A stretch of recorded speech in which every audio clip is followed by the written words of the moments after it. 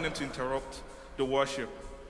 In this moment, we bring ourselves as the sacrifice of praise this night. It's not a song, you are the song, you are the worship. It's not what comes out from your mouth, you are the sacrifice. So present yourself to God where you are. The Bible says, He will call, He calls unto everyone, come unto me. Come.